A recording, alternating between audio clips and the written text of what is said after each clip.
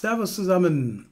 Ähm, ich bin ein bisschen früher. Wir haben, was haben wir denn? Wir haben den 7. August, Mittwoch, 17. 17 und 19. Aber ich gehe heute Abend noch auf die Juche und dafür muss ich mich noch ein bisschen aufhübschen. Nicht, dass ich schlecht aussehe, aber ich brauche immer länger dafür, um mich aufzuhübschen. Ganz furchtbar. Das Alter, was erzähle ich?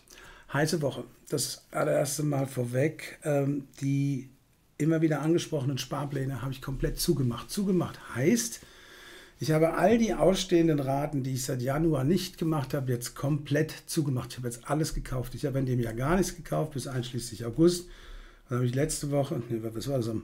Doch, letzte Woche habe ich dann angefangen, bei 17.900 zu kaufen, 800, 700. Und dann hatte ich Glück am Montag. Ja, dann habe ich den Rest bei 17.250 zugemacht. Kein Riesendeal. Ja, es sind 400 Punkte aber ich habe die jetzt erstmal zu. Aber ich überlege mir, was mache ich am Ende des Monats, das weiß ich noch nicht. Das kann ich noch nicht sagen. Vielleicht lasse ich ja noch mal einen Spruch zu los. Nur für die Leute, weil ich kriege immer mal wieder Mails, was machst du denn mit dem Zeug? Ich habe das jetzt also zugemacht. Das heißt, ich habe alle Raten bezahlt. Es ist nichts mehr offen. So, und hier haben wir den DAX. Die blauen Linien sind die Fibos vom Ende Oktober letzten Jahres. Und damit zoome ich jetzt hier mal ein bisschen ran. Da fallen verschiedene Dinge auf. Fangen wir mal mit den Fibos an. Ja, wir sind etwas unter das 38er Retracement gekommen, ein bisschen weiter rein. Da sind wir jetzt ungefähr so bei 44, 45 gewesen. Ja, hat zumindest gehalten, auch mit Schlusskurs. Die 200-Tage-Linie wurde zweimal unterboten, wird heute wieder zurückerobert. Ich persönlich schaue nicht drauf, aber ich will wissen, wo sie ist. Wir sind aus dem Band raus und mit heute wieder ins Band rein. Die Bänder gehen heftigst auseinander. Und jetzt hier fängt es schon an, so ein bisschen in die Horizontale zu gehen. Das ist noch kein Superkaufsignal, so möchte ich es formulieren. Dafür schaue ich halt immer noch auf die anderen Sachen. Das MACD hat ein lang, kurz und mir fehlt noch der morgige Tag, um zu schauen, ob das wirklich jetzt noch mal kürzer geht. Also es ist noch, es ist im Stabilisierung begriffen, aber mehr nicht. Und ich bekomme auf relativ tiefem Niveau ein Kaufsignal auf die Stochastik. Hätten wir keine geopolitischen Schwierigkeiten, würde ich sagen, der Markt korrigiert bis in dieses schraffierte Feld hier rein. Das hier, wo ist denn die Maus jetzt hier? Das da ist die 17.930, die hatte ich immer wieder äh, erwähnt und da habe ich auch eine Linie hingezogen und ich kann mir vorstellen, dass wir das sehen. Also habe ich überhaupt kein Problem mit, das zu glauben. Wir gehen momentan hier und da in einzelnen Werten noch heftigst runter. Heute mal Super Micro oder Airbnb oder Evotech. Die Puma liegen auch ganz grottig.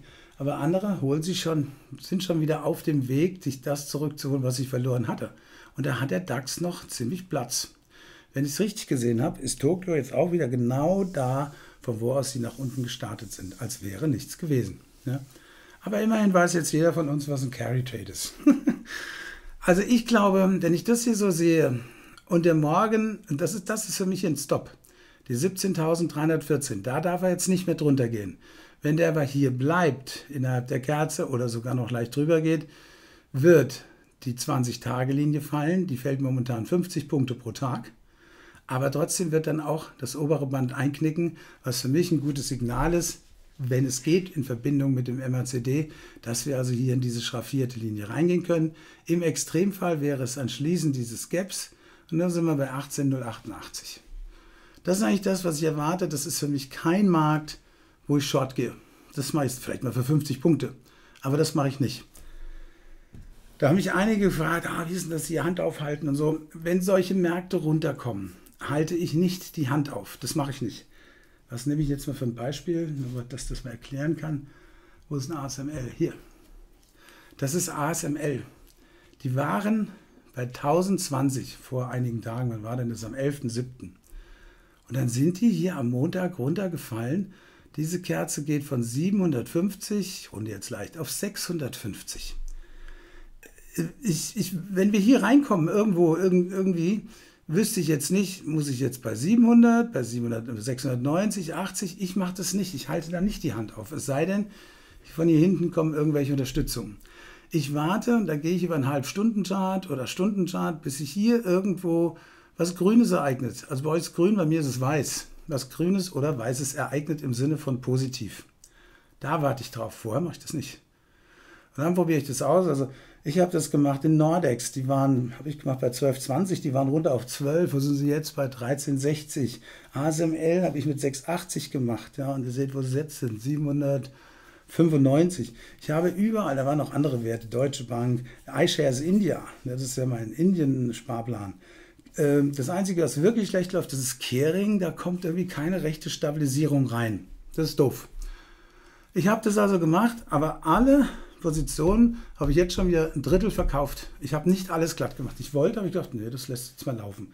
Die Stops liegen aber schon alle im Gewinn, von daher passiert da nicht so viel. Aber ich gehe mal zurück in den DAX. Also ich sehe ähm, wirklich, dass er noch ein bisschen Potenzial hat. Aber die ganze Geschichte hier, was wir hier gerade mit Carry Trades und Trump und Amerika-Wahlen und Geopolitik haben, das ist immer noch nicht vorbei. Ich habe immer noch eine 16.800, hier ist es das 50er Retracement dieser Bewegung, die habe ich immer noch auf meiner Liste. Und die hätte ich gern abgearbeitet. Ich kann mir sehr gut vorstellen, dass wir hier hochgehen, rangehen und dann nochmal hier drunter gehen. August und September sind die nachweislich wohl schlechtesten Börsenmonate seit Jahren. Und also ich bin jetzt, ich, ich bin was long, jetzt bleibe ich long, aber das ist wenig. Ich bin mit vielleicht 10% jetzt noch investiert, aber höchstens. Ja, wenn da was passiert, bringt mich das nicht um. Die Scheine sind die gleichen wie am letzten Freitag.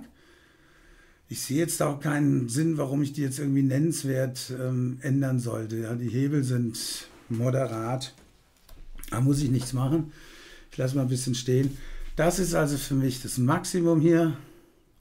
Da hier die 16.088, mehr glaube ich nicht. Aber heute, hier und jetzt darf ich den Markt nicht short gehen. Sehe ich nicht, dass ich das tun sollte. Ich wünsche euch ein Happy Trading und eine fette Beute. Bye bye.